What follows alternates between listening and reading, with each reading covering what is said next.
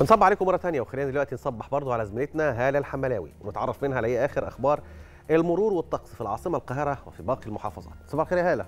صباح الخير يا مصطفى صباح الخير يا جمانة. صباح الخير يا هلا صباح الخير. طبعا يعني الطقس لا يزال غريب نوعا ما بالنسبة برد. برد قوي برد الصبح حر في النص آه، في النهار بالليل برد تاني. هنعرف طبعا بالتفصيل النهارده. صحيح. آه، خلونا نستعرض مع حضراتكم الجولة المرورية. أولا هنبص على شوارع القاهرة والمحافظات. دلوقتي الناس طبعا بدأت تنزل. هنبدأ من محافظة القاهرة. الكثافات بتبدأ تزيد مع دخول ساعات الذروة الصباحية. لو بدأنا من الكورنيش هنلاقي إن في هناك كثافات مرورية متقطعة من المظلات باتجاه منطقة وسط البلد. أما الكورنيش المتجه إلى المؤسسة ففي هناك سيولة مرورية. كوبري أكتوبر للمتجه للعباسية هنلاقي هناك كثافات مرورية أيضا ولكن متقطعة حتى غمرة. اللي مكمل في اتجاه العباسية هيلاقي هناك كثافات بسيطة بتزيد مع ساعات الذروة الصباحية. في كمان كثافات أخرى في الاتجاه العكسي لكوبري أكتوبر بسبب زيادة أحمال السيارات وكذلك الأمر المتجه من ميدان التحرير لمدينة نصر ومحور النصر وصولا للمنصة.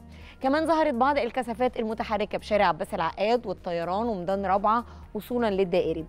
لو تابعنا شارع صلاح سالم هنلاقي هناك برضو في كثافات بالتزامن مع نزول الموظفين وهنفضل ماشيين لحد نفق الملك الصالح. هناك هنلاقي بعض الكثافات المرورية النسبية في الوقت الحالي ونفضل مكملين لغاية كوبري الروضة وهناك برضو في بعض الكثافات. أما نفق الأزهر ففي انتظام لحركة المرور وسط سيولة مرورية في الاتجاهين. لو رحنا لمحافظة الجيزة هنلاقي إن في شارع الهرم في كثافات مرورية بسبب غلق الشارع في الاتجاهين وكمان بتظهر بعض الكثافات الأخرى في شارع السودان وحتى جامعة القاهرة وميدان النهضة وصولا لمناطق بولاق ومبابة. أما محور صفت ففي كثافات مرورية بتزيد في الاتجاه لجامعة القاهرة. أما لو رحنا شارع فيصل ففي هناك برضو بعض الكثافات المرورية في الوقت الحالي بدءا من محطة المريوطية والحد الطلبية. محور 26 يوليو في سيولة للقادم آه، من أكتوبر بعد افتتاح التوسعات بشكل نهائي. أما الاتجاه الآخر المتجه إلى أكتوبر ففي سيولة مرورية وده طبعا بعد الانتهاء من التوسعات. القادم من أكتوبر في اتجاه الدائري آه، الطريق لا يزال مغلق والاتجاه إجباري ناحية نفق حازم حسن ومنه إلى محور 26 يوليو أو محور رود الفرج.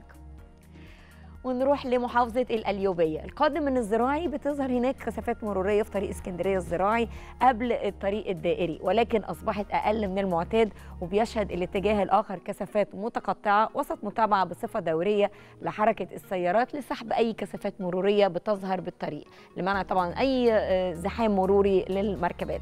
كمان انتظمت حركة السيارات بالطريق الزراعي أمام القادم من مدينة بنها في طريقه إلى ميدان المؤسسة ومنطقة المظلات.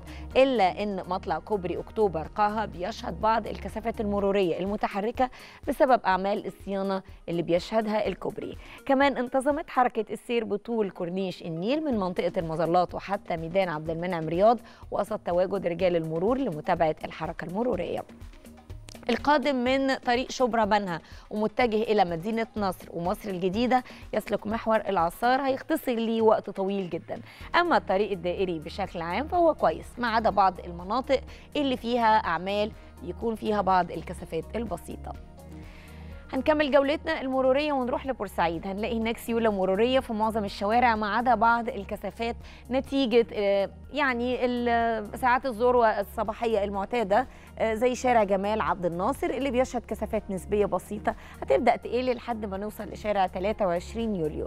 هنروح على طريق طرح البحر اللي بيشهد هو كمان بعض ال ال السيولة المرورية. ومن طرح البحر هنروح على شارع الجمهورية اللي فيه كثافات مرورية مكملة لحد آخر الشارع. Teixeira.